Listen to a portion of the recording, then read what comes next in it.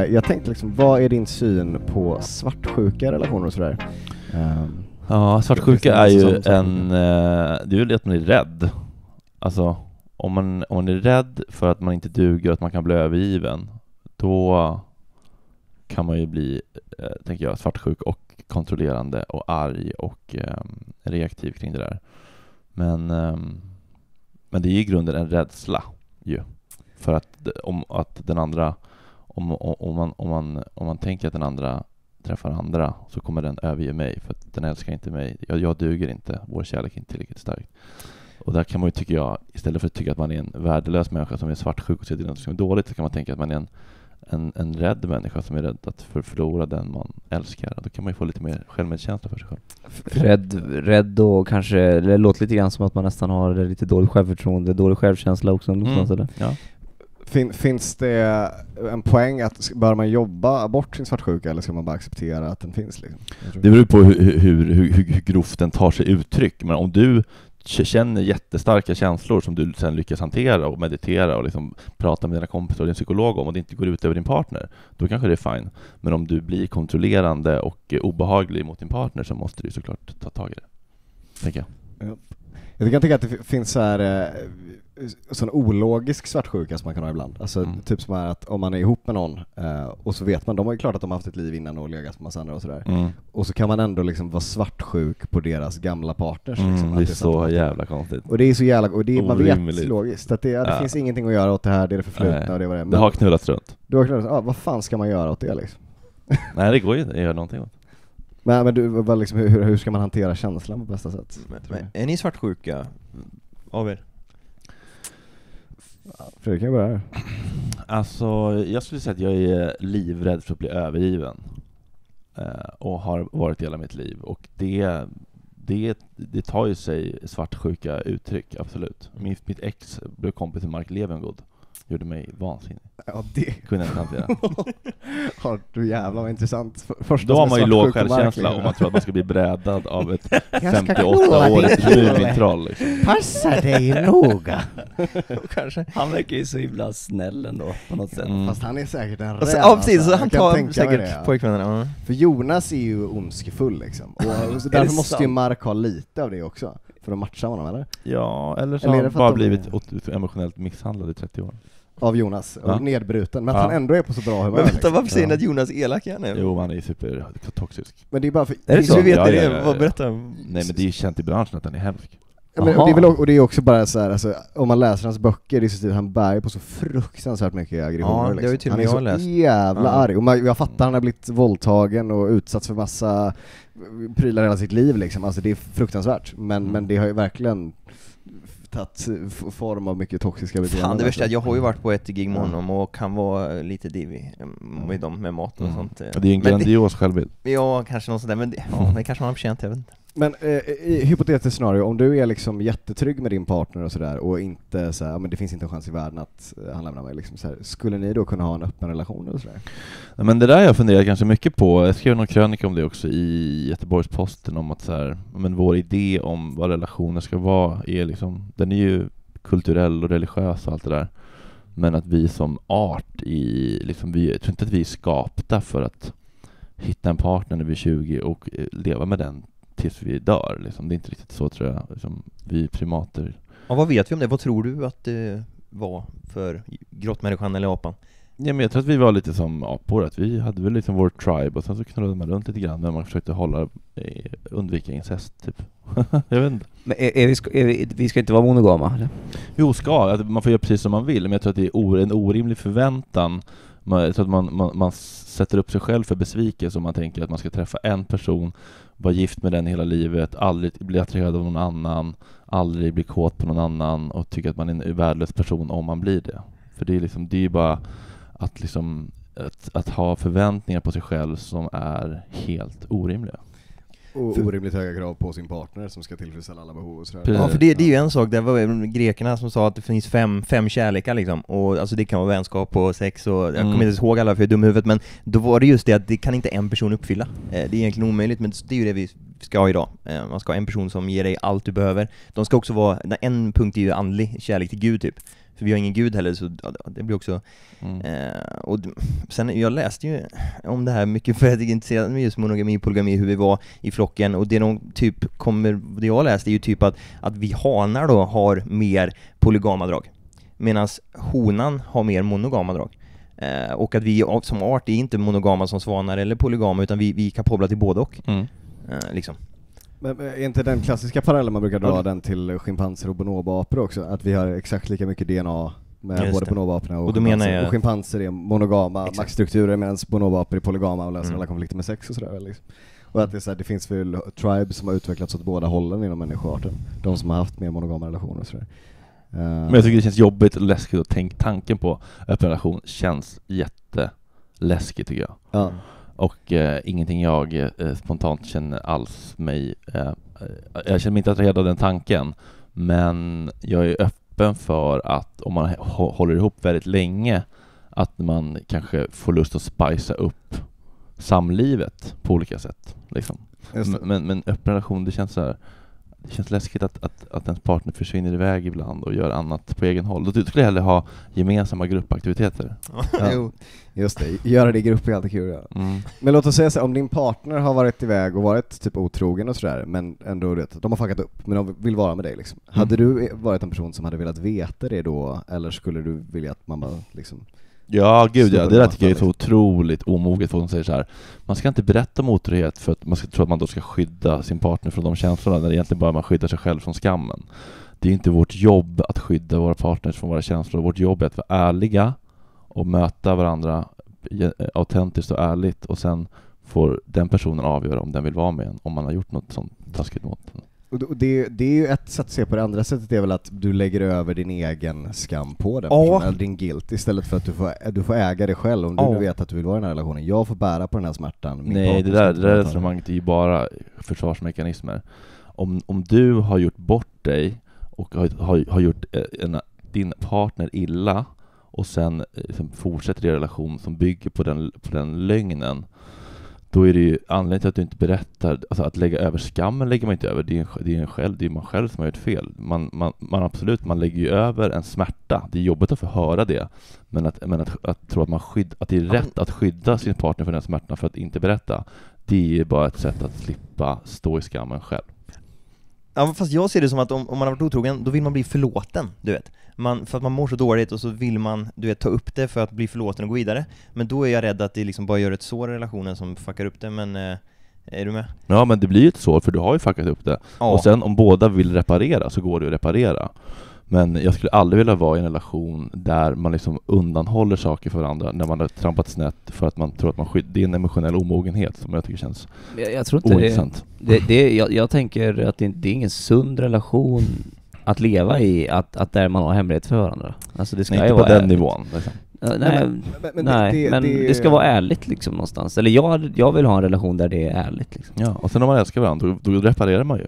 Ja, men det precis. inte vet Eller inte, försöker. Nej, det är det, det man inte vet lider man inte, och det är så komplext med vad ärlighet och vad sanning är, för att det är så här, Mm. ja men det, det vet jag att de pratar med Lex Friedman eller alltså, om om någon frågar så här, hur ser jag ut i den här klänningen liksom? Alltså det finns tusen olika variabler och svar på det där. Och det finns ett kanske ärligt svar, och det finns olika situationer, så här, man, om man varit ihop med någon och man har det, man älskar dem och vet att man vill vara med dem, men man har det jättetufft just då, då kanske man inte ska säga att de är skitfulla i den klänningen just då. Man kanske ska ljuga. Alltså, det finns ju liksom tillfällen att vara ärlig och, och, och tillfällen där det inte är rätt. Ja, men det där är ju helt me- meningslöst. Alltså, jag säger att klänningen är fin liksom. Men, men har du varit otrogen, det är ju allvarligt. Alltså.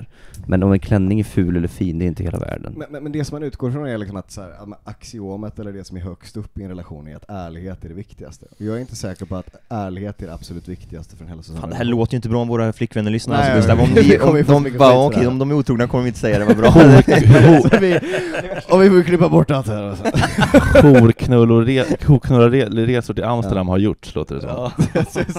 Vi försöker men poängen är ju att- skammen nu liksom. Det har inte gjorts och det ska inte göras, skulle det hända så, så får man ge, liksom, Vi kommer berätta, vi lovar. får det inte, får det inte hända igen och då, Ja. Nej, men jag gjorde, jag, alltså, det, det är klart det finns grader i helvetet liksom, men, men när det kommer till så pass stora grejer, jag gjorde, jag gjorde en grej mot min pojkvän som jag kände så här, ja, men det här kommer han aldrig få veta, och det skadar, det, det kommer göra ont för honom om han får veta det här, så, och det var liksom inte en otrohetsgrej, men det var en, liksom, jag hade råkat säga en sak till en annan person som inte han ville, eller jag hade råkat komma fram med en grej, och så bara, och sen så Men sen så kom det fram ändå för att vi liksom, ja det kom fram ändå och jag bara så här, fy fan vad skönt det ändå var. Han blev liksom jätteupprörd och det blev liksom jättejobbigt. Och vi hade liksom flera dagar isär där vi liksom så här, ja det var verkligen, det var jätte, jättejobbigt men det var så jävla skönt att inte gå och bära på det där. Ja men det var Ja. det som var min poäng, att det var det jag menade, att det, det man släpper ut det, man berättar det bara för sin egen skull för att Det må bättre det var bli skönt för förlåten. Det, det är att just det jag menar men... eh, Nej, nej, nej, det var inte för min egen skull. Jag ville, Nej, jag ville ju typ hålla det, men bara, Ja. jag måste berätta det för att du förtjänar att veta. Men man måste ju ge honan eller hanen en, en chans också att, Att få vilja- göra välja själv. Ja, få välja så här, ja men nu har han gjort det här eller hon. Och vilja vara med den här douchebögen trots allt. Ja, precis. Att gå runt och dölja saker, jag tror inte det, det, det bygger ingen bra relation i längden Nej. tror jag. Jag tror inte det. Man begraver alltid hemligheter levande. Alltså ni har en poäng i det här att allt dyker nästan alltid upp, det är ju också en sån Ja. regel, men... eh, Men skulle ni vilja att, att era flickvänner eh, var otrogna och inte sa något? Alltså, På ett sätt ja! Nej. På ett sätt ja, för jag skulle verkligen säga det, jag vill ju helst inte att hon ska vara otrogen alls. Men om hon är otrogen och jag älskar henne jättemycket och vill ha den relationen som är, då vill jag inte att hon ska berätta det. Men du kanske inte kommer älska henne när du får reda på det där? Nej men och, och, det, och det är det, då vill jag hellre leva i en lycklig lögn. Ja, okej, ja. Ja, nej, men Mycket hellre ja liksom. men jag, jag Men det är säkert att du vill det, Ja. men det betyder inte att hon vill det. det är det. Nej, nej det är sant. Det får man ju fråga, tycker jag. Ja, Vill du hellre leva, om, om, vi, om vi är otrogna mot varandra, hur ska vi göra? Ska vi ljuga eller ska vi vara ärliga? Då kan man ju, om, om man säger 'Jag vill gärna leva, leva i ovisshet' då får man respektera det. Ja, precis. Ja, det är ju Ja, lite så- öppnare upp. Ja, man kan fråga sig rent hypotetiskt, om det hade varit Mm. så att jag varit otrogen, skulle du vilja Hur vill du ha det? Ja, det är exakt. fint att fråga. Ja. Ja.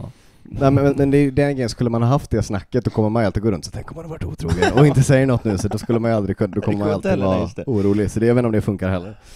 Uh, det, Nej, jag gillar det överärliga, hellre att man är för ärlig än, än, än, inte liksom. eh, men, men om man bara ska ta ett teoretiskt exempel Allt man då. säger ska vara sant, men man behöver inte säga allt som är sant. Om klänningen är ful, säg ingenting. Tystnad. Ja, nej men det där är bra. Men, men, Nej, det diggar jag. Som Bra. exempel då bara, man, Jo, men- man, har varit, man har varit gift i 40 år, man har tre barn och, och man har en jättelycklig relation. Jag tänkte säga som det här är soulmate liksom. Alltså det är verkligen så här, allt är perfekt, superinvesterade. Och så åker en person på konferens en gång per år och ligger med någon liksom.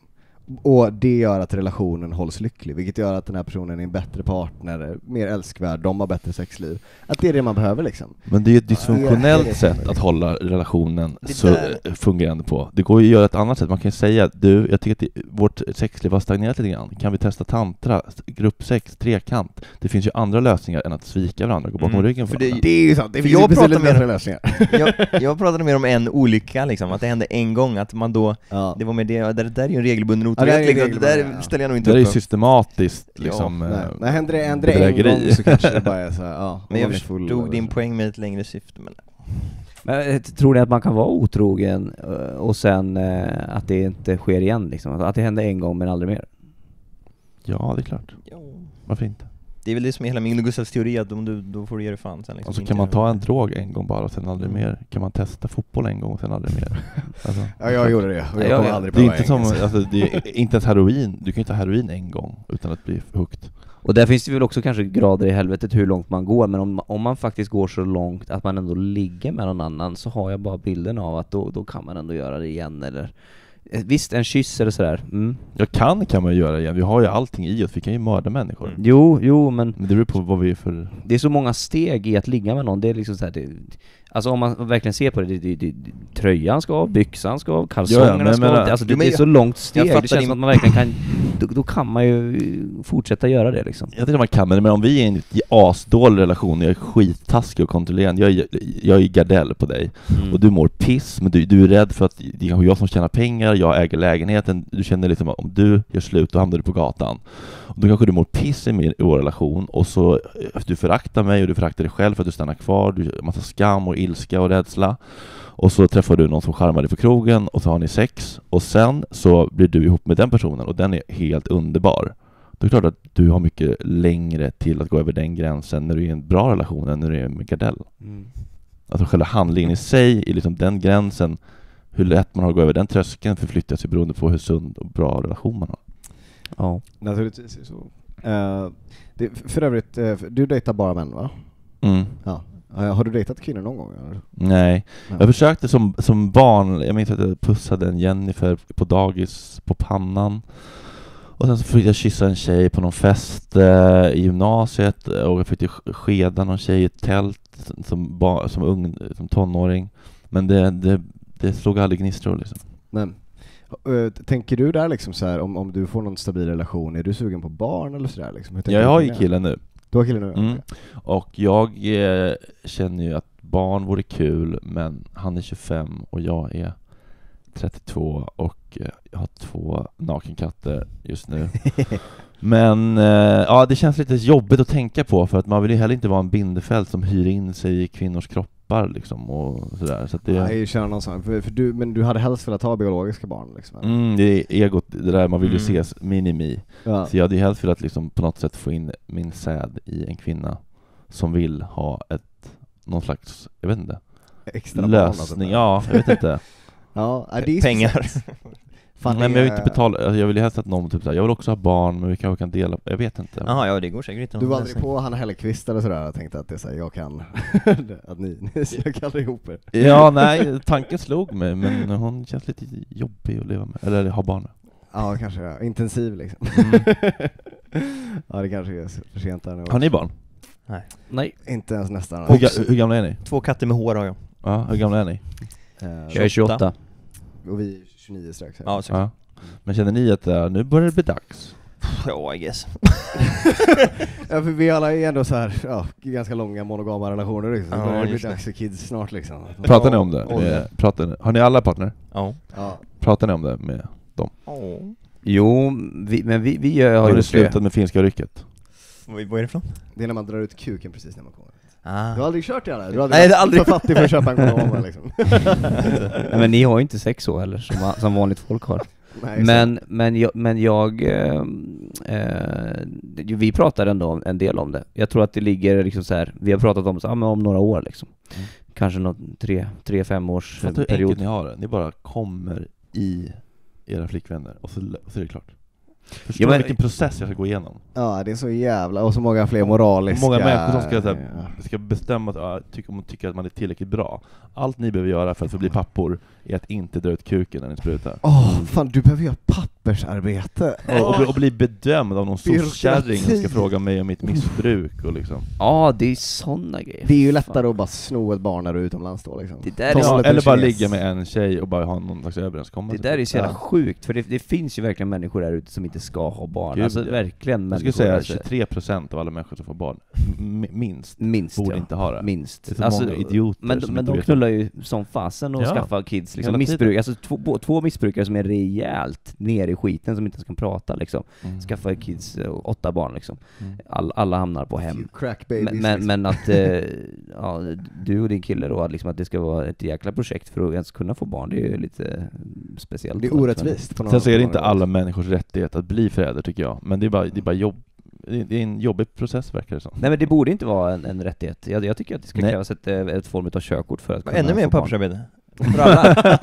Ja, ja, En, en myndighet som kollar så här, men har du, har du gått i lite terapi, kan du liksom någonting om anknytning, har du något liksom någon psykisk ohälsa i släkten som du behöver ha koll på, har du liksom jobbat lite med dig själv? Ja men jag, jag tycker det, tycker Ja, inte du det, det? det, det, Nej, det, det- det, det kan- jag- få jag- grejer som fuckar upp världen så mycket som barn som är kassar liksom. Alltså det är nya Hitlers de kan trycka ut liksom. Ja. Kan Det är vi- klart, alltså, nya klart man borde kontrollera det. Nej, men det, det, jag tycker inte man ska få, få vara en idiot och, och få barn liksom. Jo. Men det blir, blir stökigt, det. blir, det blir stökigt dock med liksom hur en myndighet då ska bedöma vem som är eh, värdig, men det är väl så de gör med oss bögar typ, eller? Men jag, men jag menar mest Ja, det är att... När- när man det är adopterar barn, menar jag. Ja, adoptera barn. Ja, det är en jävla process. Alltså det kan Mm. vara låga krav, det behöver inte vara skyhöjd, det behöver inte vara så här, ah, men du ska tjäna 30 000 i månaden, du ska ha ett sånt jobb och det och det, och det. Men jag menar bara så här, nej okej men du är heroinpundare liksom, du, du kommer förmodligen kanske inte ens leva om 10 månader för att Alltså, du, du är så döende mer eller mindre. Nej, du, du ska inte ha Ska barn, man för du kommer... Är det, rapportera ja, är det, då, eller är det ska man rapportering eller är det Ja. ett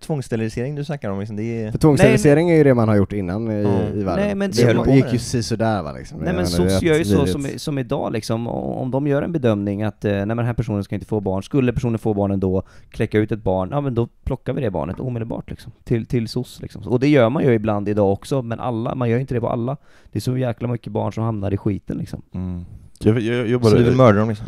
Nej, man, man tar barnen och ger dem till SOS. Ja, men jag tänker på det här med att förbjuda folk att skaffa barn. Vad skulle du säga? Nej, eh, eh, jag måste gå på toaletten och kissa för jag är lite snabbt. det är tydligen många som ska det. Vi tar en paus här till Eller Ja. vad håller du på med? Ja det är det. Ehm, nej men jag, jag jobbar lite grann, eller jag försökte bli, jag- jag stöttade Trygga Barnen, en, eh, en förening som jobbar just med barn till främst liksom missbruksföräldrar. Mm. Och jag skulle bli någon slags eh, mentor eller så här, ja, frivillig som hänger med de barnen ibland och gör olika utflykter. Så ha- hade jag någon sån liten intern liksom, utbildning med dem och sen så fick jag min hjärnblödning.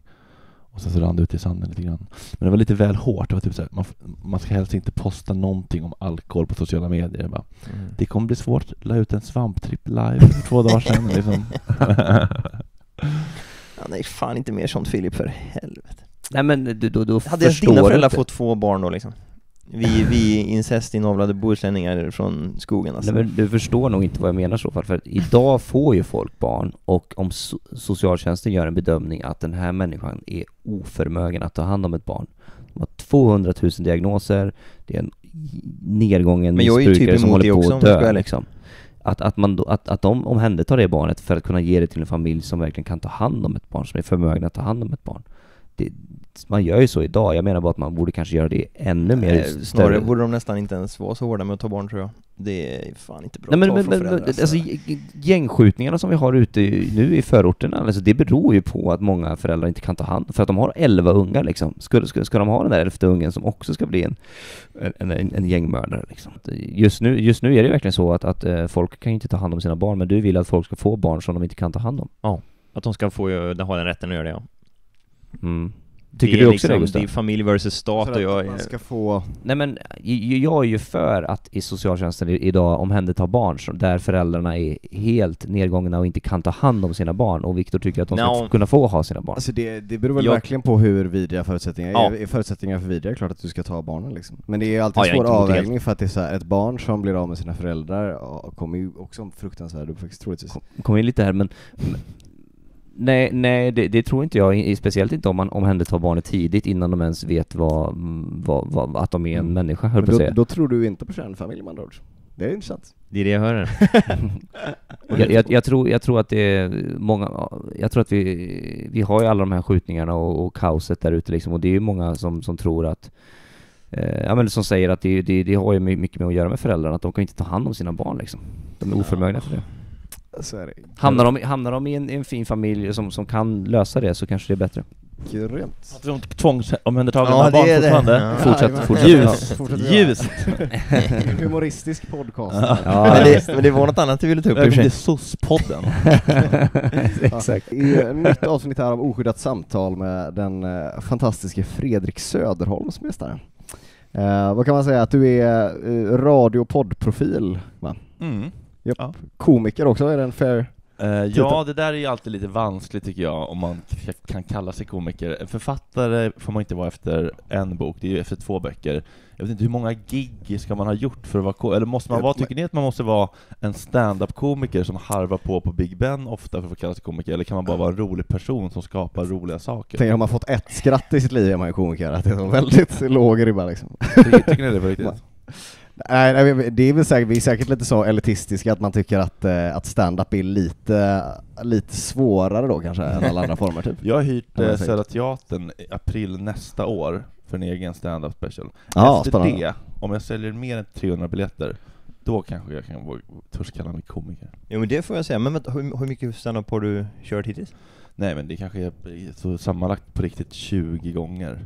Mm. Så Ja. pikade det en gång på Bråvallafestivalen när jag var förband för Henrik Schyffert i ett tält där. Ja. Och det var askul och sen kände jag, oj vad tråkigt att gå tillbaka till Big Ben efter det här. Nej jag inte. Ja, det känns Jo, jag så vet sant. exakt den känslan. Men han, jag antar, han du under något av de giggen ha liksom en fruktansvärd bombning? Någonting som var helt tystnad liksom? Nej, Eh, nej, nej det, det har jag aldrig upplevt för att um, alltså, jag tycker att jag tycker det är lite, lite, märkligt det där när folk säger typ så, man, man måste testa skämt för att se om de är kul. Så jag vet att det jag skriver är ganska kul, nej, men det, det är aldrig så att det kan liksom gå helt superbomba så här. antingen funkar eller funkar inte. Jag är lite mer så här småputtrig, jag har inte så mycket bygger upp till punchline och sen ett skämt och så bara flög det eller flög det inte. Det är mer så här en liten berättelse som är lite smårolig och ibland kommer någon dräpande liknelse som blir ett litet skratt. Men, men det blir aldrig de där liksom superbombningarna. Nej men man får väl ändå tänka så här, efter år av poddande och radio så har du ju någon form av känsla för vad som är underhållning liksom. Att det är så här, fingertoppskänslan är inte Nej, död precis. liksom. Sen så kan leveransen vara pissdålig och sådär, men liksom, det har aldrig varit att folk så här, kastar tomater liksom. Vil- Vilket i och för sig typ är lite tråkigt att det ibland är så jävla ljummen publik liksom. Mm. Alltså när, när publiken är så att man liksom inte kan ruska liv i dem. Det är typ värre än att man Ja, får... likgiltigheten. Ja, verkligen. Som en sån eh, 40 år relation liksom. så. Ja, i, Mm. Känn någonting då, var arg eller ledsen eller liksom Ja. Häckla liksom, vi, i Sverige är de bara helt tysta. Det, Ja. ja. För, det, kan- det kan man ju nästan känna ibland att man måste börja med att skrämma folk lite innan man kan få det roligt. Mm. Alltså, och det är så här, vi, vi, jag är ganska dålig på det för att jag är så jävla ljummen liksom. Man, är man typ såhär, ta någons fotas liksom, då kan man ju få folk, då blir det obehagligt liksom först, men sen kan det bli kul. men vi har inte riktigt den grejen. Men okej, fan det blir Skala-show då om ett år, cirka. Södra teatern. Södra Teatern var Den det. är dyrare men den är finare. Nej, för Du kommer ju dra folk såklart, ja just det. Ja, smart. Kul. Det, ja, det får vi se. Det jo men det, det gör nog. jag, jag, däremot så tycker jag det är jätteläskigt med prissättning. Jag tänkte typ 200-250 spänn max. För att det känns läskigt med högre. Vad, vad, vad är rimligt tycker ni? Ja, jag diskuterade nyss det där med Fredrik Andersson som jag var ute och öppnade åt, de, de har väl höjt lite allt eftersom. Mm. Så det är ju, men alltså nu tror jag fan de ligger på 350, alltså det går lika bra. eh, men, Ja men de är etablerade verkligen. oh, i och för sig. Eller Ta, alltså, ta Fredrik Andersson 350. ja, nu ska jag bara snacka, jag, tror att de har ökat med typ 100 spänn, ja, Ja. om jag minns rätt. Men man måste väl alltså öka känns det som just nu. Det är jäkligt tuffa tider. Uh, framförallt Jo men det är det kanske, också ja. för biljettköparna menar jag. Så att Ja, jo, men, det, men det är ju det. Det, skrämmer bort ja, folk med för höga priser. det, det blir en jävla dålig spiral allting. Det är Mm. dyrt, dyrt att handla, det är dyrt att köpa biljetter och man Det får det dra in på så mycket. Lågkonjunktur. Den där Just det, just negativa spiralen. Ja. Just det, just det. Man tänker att det borde slå jättemycket och att folk borde gå mindre på underhållning, men det känns som att de som går på typ stand-up för 350 spänn, alltså de, de blir ändå inte påverkade så mycket av lågkonjunkturen liksom. De, hade, de har pengar liksom. Eller? ja, jag vet inte, vad, nej, ja, det verkar inte gå dåligt för standup-komiker ändå eller? Nej. Som, Men ah, vadå, alltså det är väl jätteblandat. Det finns ju, de flesta standup-komiker går det väl skit för och så går det väl bra för eh, The eliten. one percent. ja men det var de jag pratade om, jag räknar mig inte till dem utan jag bara menar så här, hur, hur, hur går det för dem nu liksom? Men det går väl bra? Johan Glans gråter ju inte liksom. Nej, jag tror inte det. Han klarar sig nog ganska bra, vad man tror. Men eh, hur har det påverkat er hårt liksom, med eran podd och sådär? Ja, det har det verkligen gjort, fast det är också svårt att veta vad som är vad. Alltså, vi hade jättehög Patreon när jag låg inne för, med hjärnblödning, då hade vi kanske 150 i månaden ett tag, och sen så kom jag ut, och sen så övergav jag programmet lite grann för att jag hittade andra poddar som gav mer pengar, och sen så slutade Jesper, min sidekick som alla älskade Mm. så mycket, så det är lite svårt att veta vad som är vad, men det är klart att lågkonjunkturen tror jag verkligen påverkar. Det, är, det första man drar in på är väl ändå liksom Gott Snack Patreon, om man ska det. köpa mat till sina barn. Liksom. Mm. Men det bästa som kan hända dig är en hjärnblödning till, för då hade det blivit riktigt mycket Ja, eller någonting nytt Ökade tror jag. Alltså, jag tror jag hade behövt någonting nytt, alltså någonting som är långdraget. Cancer typ. Men fasen, det. vadå, har du, har, nyligen så har du haft en hjärnblödning eller? Nej, jag var ett år sedan. Åh oh, jäklar. Vet du, för sånt utlöses bara ganska spontant va? Det det finns liksom inga indikatorer va? Ja, i mitt fall så var det nog, det var liksom en, en liten eh, tre, den heliga treenigheten som var covid, endokardit, det vill säga infektion på hjärtklaffen, Aj, aj, aj. och sen så hjärnblödning på det. Så jag hade liksom för högt PK-värde, jag käkat Varan, blodförtunnande gubbmedicin sen tidigare för min hjärtklaff, en mekanisk. Och sen så fick jag covid och så tappade jag kollen på den medicineringen så att jag fick alldeles för tunt blod. Så att det var en, en, en del orsak, tror de då, att jag liksom, ja, jag lättblödlig liksom. Är Vad, det- vad hände då? Blev det så här, däckar du ihop liksom? Jag Eller? fick jätte, jätteont i huvudet och eh, började spy och tappade lite synen. Typ. Så det, men det, det antar jag att det var, du var nära att stryka med där liksom? Eller? Jag vet inte Nej. riktigt, eh, det är lite svårt att säga. Jag kan inte riktigt det där hur, hur, hur det funkar. Man kan, ju, man kan ju dö av det såklart. Men... Men det blir ambulans och inte sjukan liksom. Mm, mm. Mm. Mm. Men då löste de det liksom, då sätter de stopp för det. Eh, ja, då... Det, det blir lite medicinskt kanske Ja, men så här, det, det som är problematiskt är att man kan liksom inte bara stoppa in då, eftersom jag har en hjärtklaff, en hjärtklaff så, vill, så vill de att jag ska ha så tunt blod som möjligt, så man kan inte bara liksom stoppa in ehm, ehm, eller vad var det som var problemet? Det var, det var någonting med att det var, det var lite farligt att operera just för att jag är så... Man ville stoppa... Eh, man vill ju egentligen att blodet ska bli liksom tjockt igen så att det slutar blöda, men det blir också farligt för hjärtat. Så att de var så här, hur fan ska vi göra nu egentligen? Och då kom man ändå fram till att det bästa var att operera då, öppna upp skallen, suga ut blodet, sätta tillbaka luckan. Vilken, vilken omfattande operation alltså, dra mig. Jesus. Men då har du, nå- du har något scar någonstans här då när de liksom gick in eller? Mm. Ja, det är en liten lucka liksom. Ja. Coolt, ofta du inte kör flintis, det hade ju jag gjort. Ja, förr eller senare så kommer jag ju behöva göra det. Ja, har ett litet hål här och så. Men har du, ja. har du några eftergifter eller på vad heter det? Alltså... Konsekvenser? eller? Ja. Men hjärntrötthet och synfältsbortfall. Så jag får inte köra bil längre. Just det. Du får inte köra bil alltså? Jag tänkte just på hjärntrötthet för det har farsan. Mm. Eh, också från sådana grejer, just det. Ah, shit. Men hur hanterar du det då? För då är du lite... Ja men typ som att jag sa till er så här, jag, jag, jag kan inte podda 17.30 efter en hel arbetsdag, jag kommer vara helt död i skallen, det kommer inte bli bra. Så att man får planera sin energi lite bättre bara liksom. Ja, just det, exakt. Men du hade skrivit en bok också, det visste inte jag. Nej, men den har inte kommit ut än. Den kommer komma till bokmässan. Mm. Så den håller på att bearbetas nu av min kära medförfattare. Det är ganska skönt alltså bara skriva av sig och så bara ett proffs sen strukturerar och fixar och Mm. gör det läsbart liksom. Det här med hjärtfel och sånt du har, är det någonting som är medfött eller någonting som du har fått? Ja. Eh, det, jag hade ett blåsljud från födseln som gjorde att eh, när jag fick en hjärt, när jag fick en tandinfektion så var det lättare för bakterierna från tanden att gå ut i blod, som kom ut i blodet att fastna på klaffen. Så att man kan ju säga att det hör ihop lite grann, men det var inte därför jag fick infektion från början. Men... Just det, just det. För sen, du har väl varit ganska öppen med att du har tagit en del eh, goda droger och sådär? Mm. Har det haft ganska negativ inverkan på hjärtat också där? Eh, alltså vissa droger har ju negativ inverkan, alltså kokain är ju, är ju stressigt för hjärtat. Eh, men däremot liksom MDMA och svamp och sånt, eh, jag skulle säga att alkohol är ju värre för, för kroppen och hjärtat än liksom MDMA och svamp. Men kokain och kombinationen kokain och alkohol framförallt är väl den typ det sämsta.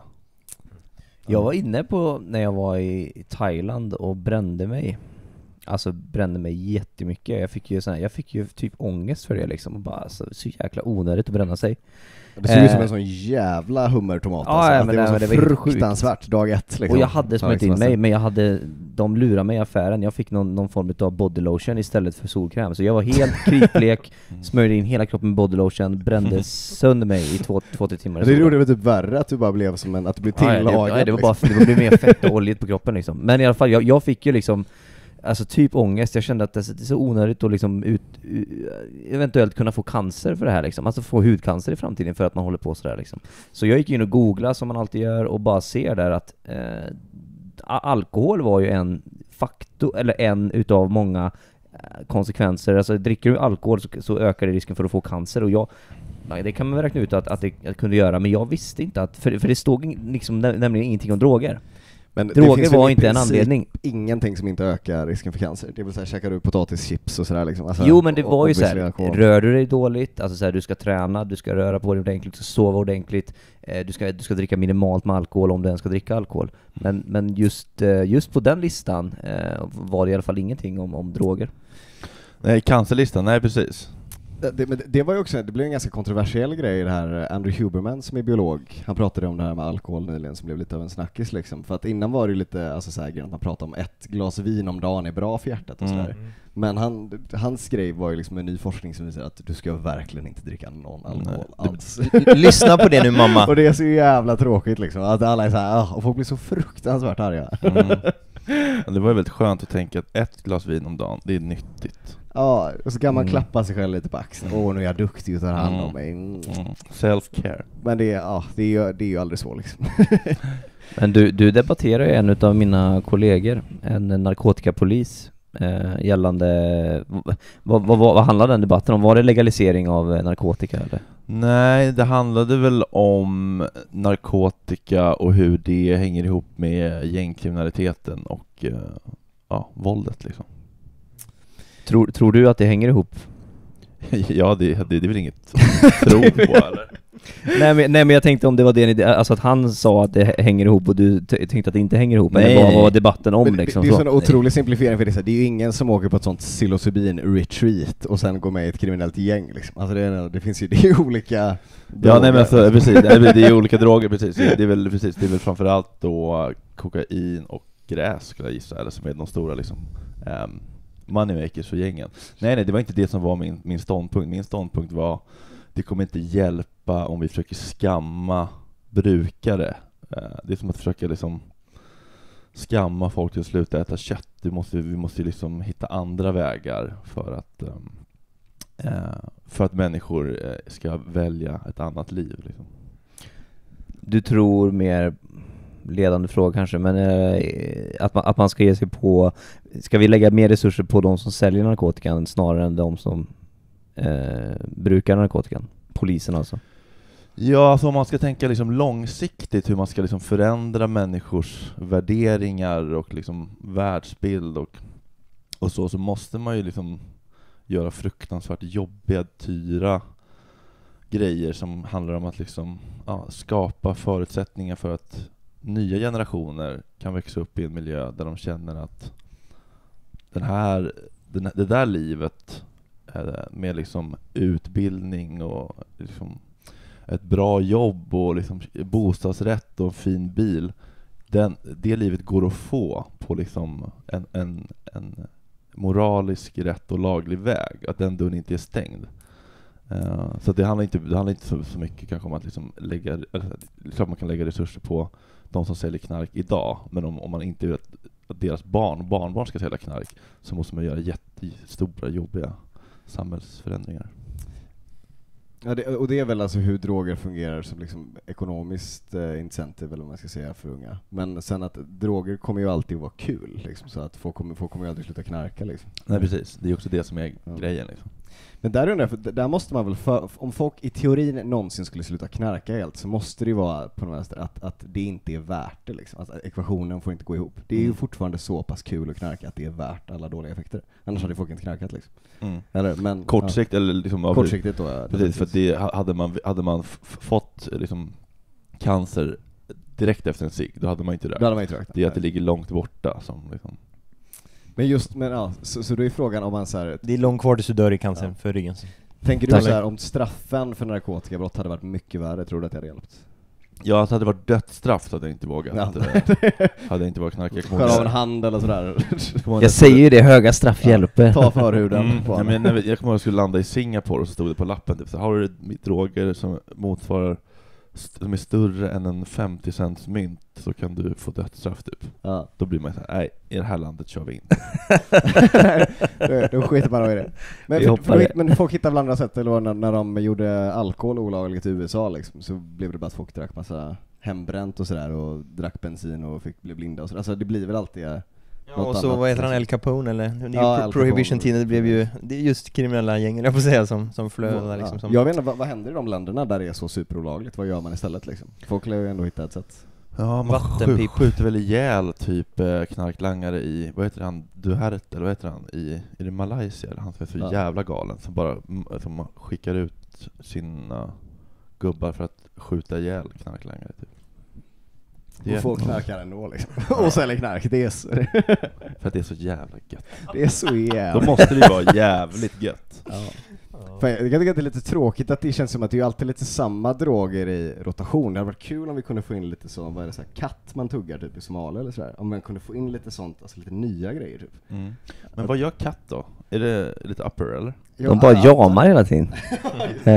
Hårar mycket och käkar, käkar upp det. Jag har ingen aning liksom, vad, vad den effekten, men det måste ju vara upp, för de, de är väl alltid på sin vakt, de olika piraterna där och åker runt och patrullerar Mm. liksom. De kan ju inte ha några jävla sömnpiller de. Nej men det känns som en lågintensiv, dåligt ladd typ. Typ som, typ, typ som att suga på kokablad som de gör i Sydamerika mot Ja. höjdsjuka och så. Väldigt låg effekt liksom. Mycket jobb för lite verkan också kanske, Mm. man ska tugga på ett blad hela tiden och få ont i munnen liksom. idisslat som jävla kossa. Alltså. Ja, det är kanske därför som det inte har blivit en grej liksom. Mm. Men vilka droger tycker ni är Mm. mest värda då? Ja, nej men du. Ja, men, Nej. polis så Ja. säger jag så Ja, här. exakt.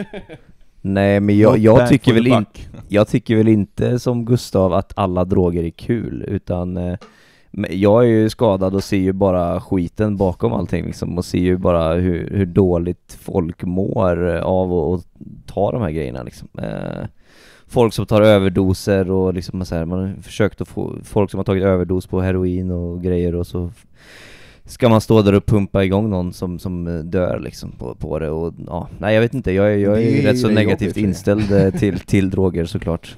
Eh, men, men jag är helt klart öppen för debatten att så här, liksom, vad som verkligen är bäst. Om man ska, för vi lägger så mycket resurser på just så här, brukare liksom. Om man ska försöka ge dem vård och, och eh, jobba jäkligt effektivt mot, eh, mot de som säljer och sådär. Men det, jag, menar, jag har väl bilden lite grann att fo- folk som mår väldigt dåligt, det är de som knarkar liksom. Och de behöver någonting extra i sitt liv för att det de har utan knarket räcker inte liksom. Det är den bilden jag har, jag vet inte om ni håller med eller? Jo, jo men det är väl, nej, men jag är väl väldigt så här, alltså, de, de grejerna som har eh, health benefits tycker jag att det är väldigt enkelt kring liksom. Alltså både, eh, ja men eh, vissa former av marijuana och sen typ psilocybin och så här MDMA och terapi och sånt som finns. Alltså det är så här, när man kan använda allting som är medicinskt, det är no-brainer att vi borde bara jobba på liksom. Men eh, sen så, jag kan väl tycka att alla stimulanter känns lite onödigt, allting som är alltså, tjack och kokain och sådär, för att det är så här, man kan väl ha kul ändå liksom.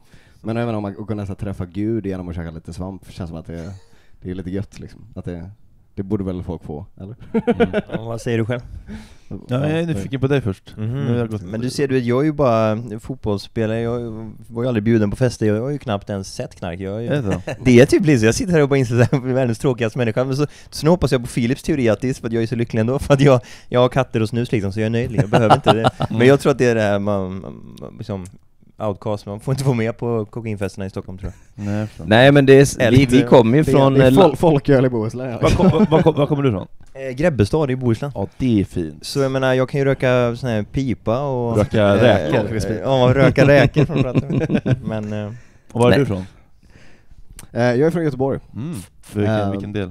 Mölnlycke, så det är en liten förort till Göteborg då. Liksom. Ja, där har jag varit någon gång. Har du på riktigt? Ja. Det finns fan inte mycket anledning att vara där, varför har du varit där? Nej, jag Varför? inte om det var något grind eller om det var att jag skulle köpa knark, jag kommer inte ihåg.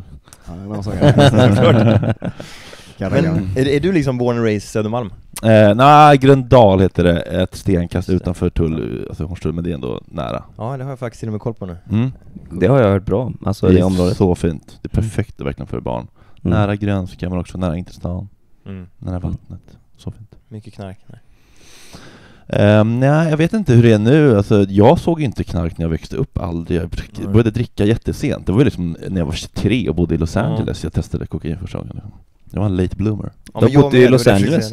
Ha? Du har bott i Los Angeles? Ett halvår, så jag vet inte om man kan säga det. En, en längre jobbresa kalla Ja, coolt. Vad gjorde du där då? Först jobbade jag med Filip Fredrik på Kanal 5 med ett program som heter La Bamba när Filip skulle testa olika liv och sen så fick jag hoppa in som inslagsproducent på Svenska Hollywoodfruar för att någon fick någon tarminflammation typ. Oj jäklar. Men, Ja, och där var det ju bra jävla ladd. Okej. Va, vilket program var det när de eh, käkade svamp och var på något retreat? Det var det. Det var det Men det var, men det var nog, ja det var nog eh, edibles, gräs, Så- så var marijuana, det kanske, just ja, det, just magic det. cookies. Ja, För det är ju Det producerar de du. roligaste klippen från svensk TV av all time typ. Ja, det var ju väldigt Så kul. jävla roligt. Men du, het, du heter Geniet på, eh, på Instagram, Geniet Söderholm. Mm. Hur, hur kommer det sig? Alltså just Geniet? Nej men det var någon som, det var någon som gav mig det smeknamnet när jag jobbade på Breaking News som var typ mitt första TV-gig, någon i redaktionen, kan ha varit Kristoffer Triumf, Värvet-poddaren. Jaha, för att... Eh, hur kommer det sig då? Eller var, varför gav man dig det smeknamnet? Nej men det var nog lite så här, lite putslustigt, lite skojigt för att jag var liksom ung och hungrig och jobbade ganska hårt och eh, fixade mycket saker till produktionen. Mm. Det var inte sarkastiskt liksom. Nej men det var nog lite, lite både och liksom. Ja. Började så kanske, men sen så tog du över det liksom. Mm, och ja, det är jag, nu är jag det. Blev ett geni. Mm. Men visste du sen du liksom var liten att det var det här du ville pyssla med eller?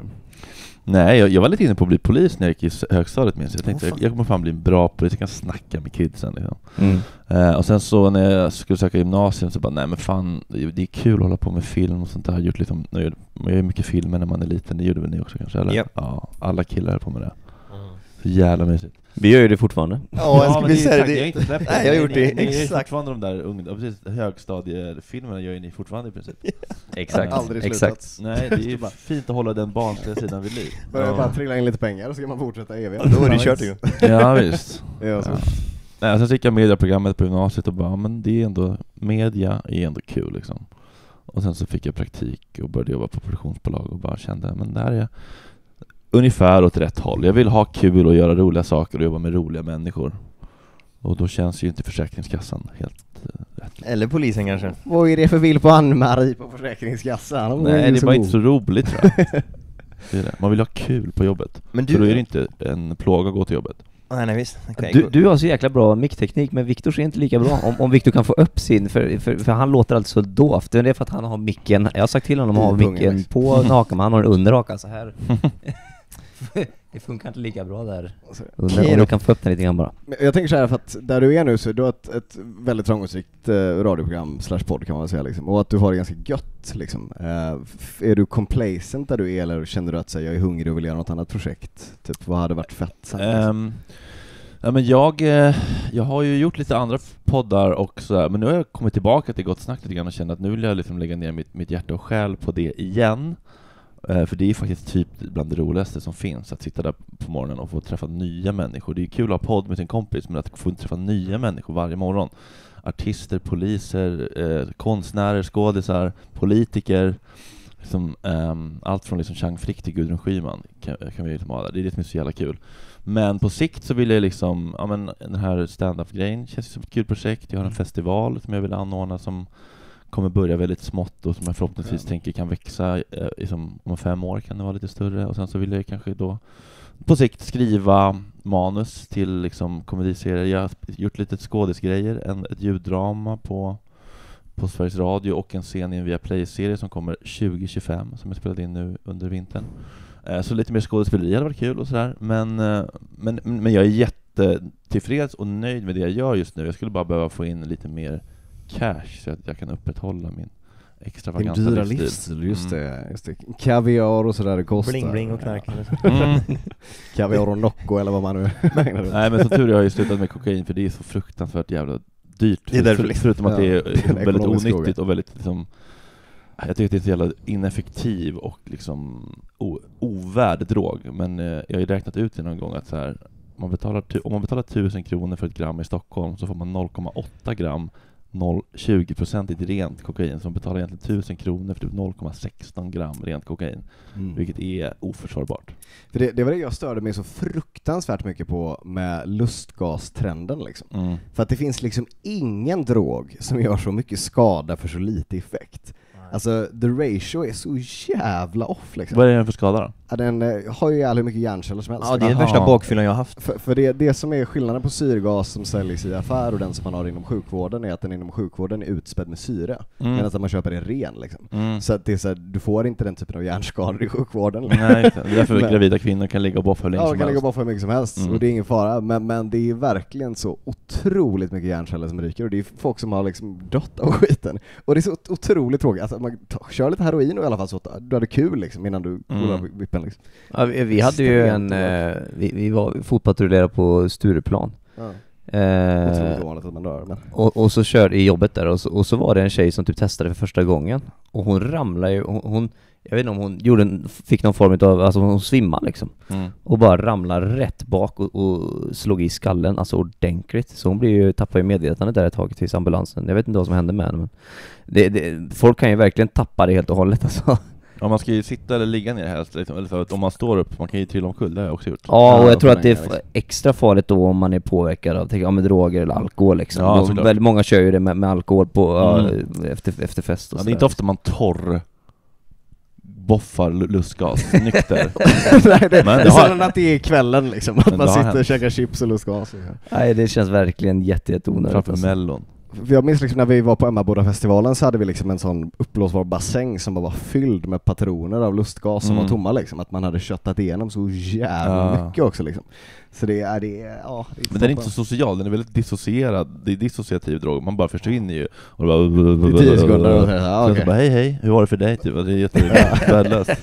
Fruktansvärt värdelöst. Mm. ve- vem är, du, du pratade om lite gäster som ni har haft, men vem är den eh, kändaste gästen ni har haft i eran podd? Gott Filip. Nej det tror jag inte, det, det vet jag inte. Ehm, ja men alltså Mona Sahlin och Gudrun Schyman är väl väldigt kända om man tänker liksom, eh, Ja. politiker får ju ändå väldigt stor... Jo, men det- ja. Eh, sen, men typ så här, Eva Dahlgren är väl ganska känd och liksom... Mm. Ja. ehm, Du ja, var, di- din podd var ju med på, eh, såg vi häromdagen, var poddtoppen. Poddtoppen? Ja, poddtoppen. Eh, alltså de 50 populäraste poddarna ju- just Ja, nu liksom. Poddtoppen går ju bara efter iTunes och sådär så det blir jättekonstigt Ja. siffror ofta. ja Så men det ni, ni var med där men i det är alla fall. Det är skönt att vara, med, att man åtminstone är med Ja men du sätt. känns som en poddguru, vi borde kanske fråga det, vi som, som du sa har gjort såna här filmer från skolan tills vi är 30 liksom och nu startat podd liksom. Vad, hur, eh, vad är liksom nyckeln till en bra podd liksom? Vad är dina bästa tips till alla killar i Sverige vill ju starta podd liksom, så du kan ju... Ja, nej men jag vet ju inte heller riktigt för vi har ju inte så höga lyssnarsiffror liksom. Ma- Man ska ju fråga snarare till typ Edvin och Johanna, varför får de 300 000 unika lyssnare i veckan? Vad är det de gör som är så jävla bra? Alltså jag är ju verkligen inte så framgångsrik, men det, alltså, true crime är ju uppenbarligen någonting som folk inte kan få nog av. Att gotta sig i misär och, mord våld och gott. och ja. Hemskheter, det är ju uppenbarligen någonting som folk inte kan få nog av. Eh, Så det är ett ganska, verkar vara ett ganska säkert sätt om man bara, om man bara vill liksom Men det visste man ju lite sen innan, mord generellt sett, alltså när man har gjort så här 14 säsongen av morden i Midsummer, av Mm. någon anledning så folk älskar ju Ja. kriminalare liksom, och Ja. true crime, så det är det bästa folk vet liksom. mm, Beck, säsong Ja. 50-11. Men Jag tänkte som följdfråga där, för jag vill veta vilken är liksom den värsta intervjun jag har gjort? När har det liksom ballat ur som mest? Ja men, eh, ja det beror på vem man frågar. Jag tycker Johanna Svicka vi hade härom veckan innan eh, Gudrun Schyman blev skitdåligt, eh, Ja. men, men ehm, det var för att hon hade lite dåligt attityd och lite ton och hade bjudit in sig själv och tyckte att hon inte fick tillräckligt mycket plats och jag var inte så int- nyfiken av henne, på henne och man ska inte bjuda in folk som man egentligen inte är genuint nyfiken på. Vad hette hon? Svicka? Johanna Svicka, en sån löptjej typ. Eh. Men också typ, ja, men eh, det var ju lite rabalder när Peter Wahlbeck var med för att han sa saker som, eh, Just det. som inte passade alla. Det såg jag. Mm. Eh, Så det vart uppmärksammat, men jag tycker det var väldigt kul, för det var ju som, det var ju bara sjukt det han sa. Jag känner igen Peter Wahlbeck, men vem är han? Jag vet Han är inte riktigt vem det är. Av, eh, en jättestor komiker.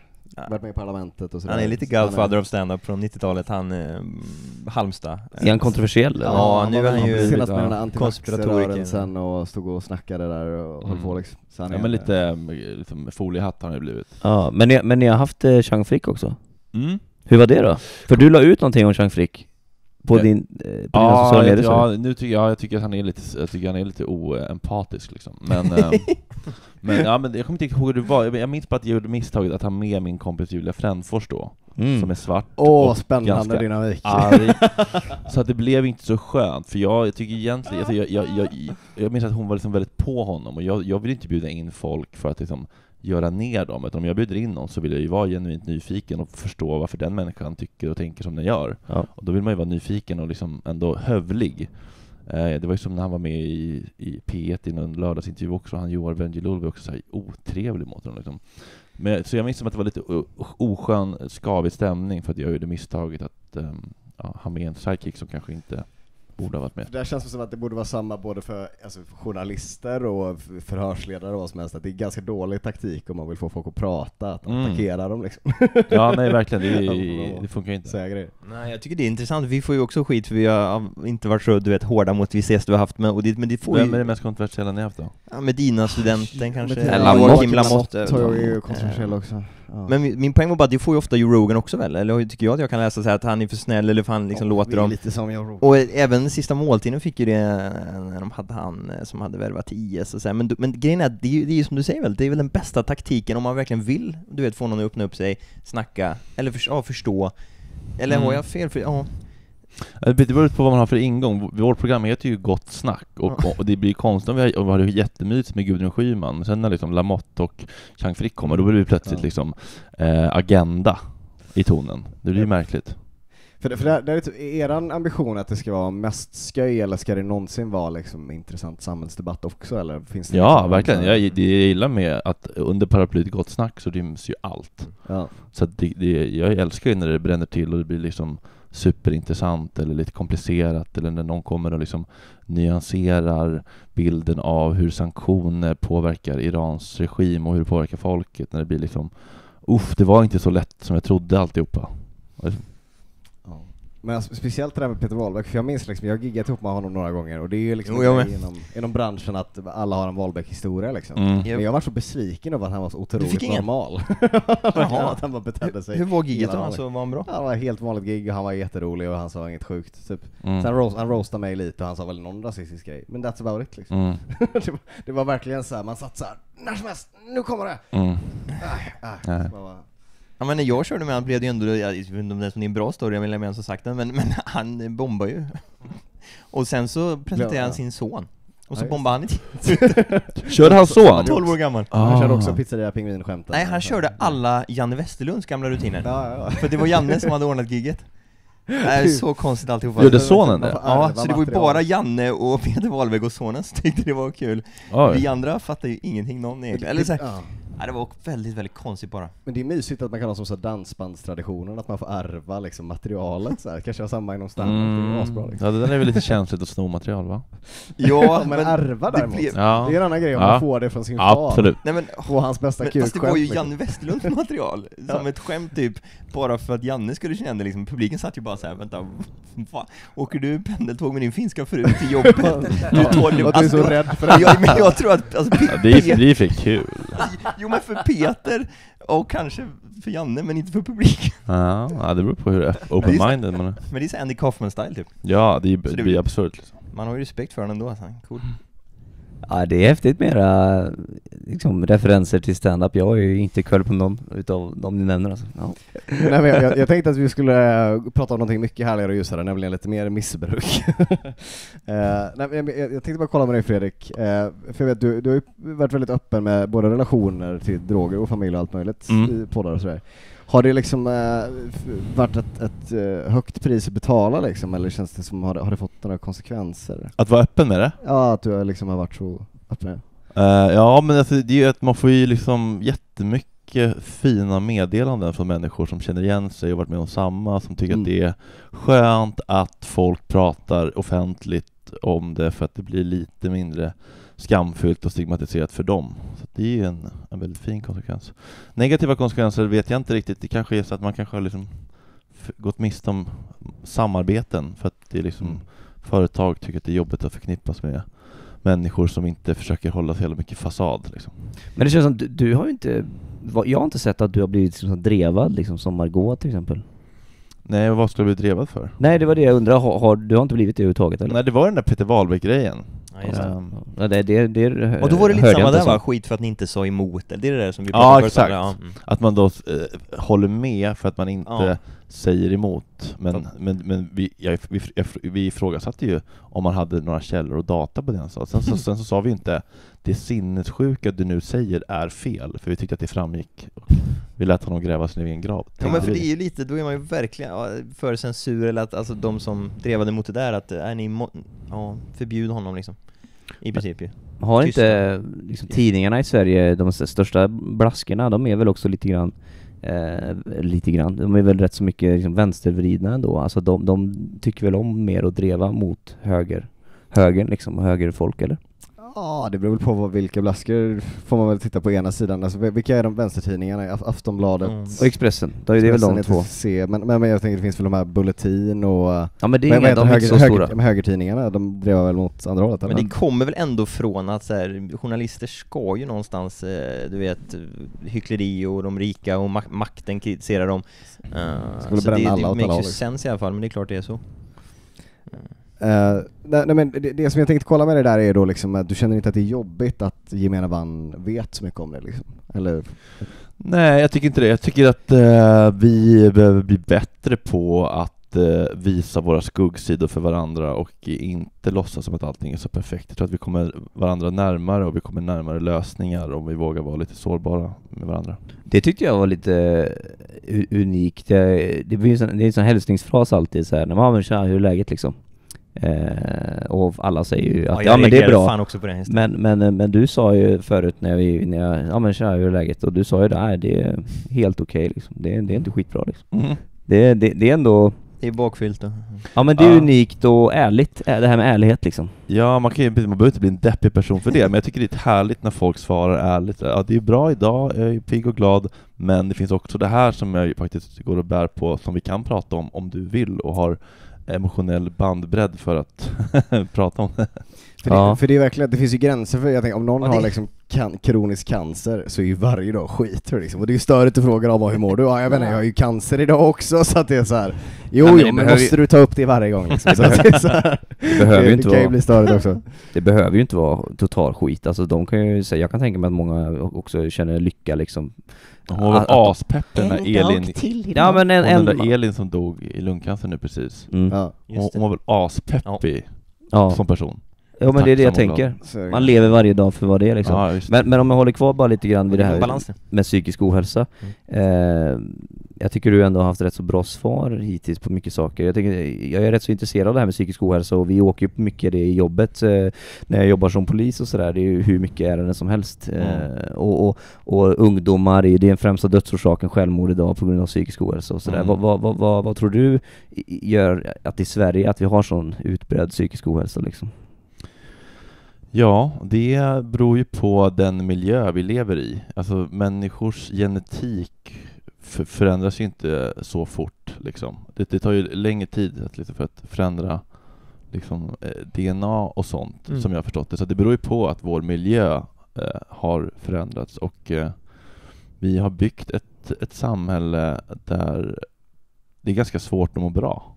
För att det är så jävla många mekanismer som får folk att må piss, om man ska prata väldigt brett. Ja men, eh, tror du att det har med det att göra det här eh, mediala, att, att, eller att vi, vi håller på så mycket med sociala medier och media, eller är det, är det den spåret du är inne på, psykisk ohälsa? Ja, men jag tänker att man måste titta ur, eh, man måste titta på det biopsykosociala perspektivet, att det handlar om biologi och psykologi och eh, det sociala, och allting samverkar. Alltså våra gener, epigenetik, våra gener påverkas av vår miljö.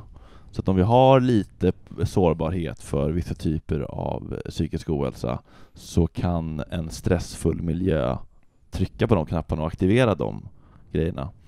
Så att ehm, eh, det handlar ju om hur vi lever våra liv och eh, våra relationer och att vi, vi fokuserar ju på lite fel saker för att vi tror, många tror ju fortfarande att, att målet och lyckan är att jobba hårt, tjäna pengar och allt det där materiella som vi vet, all forskning visar att det är inte det som gör att man mår bra.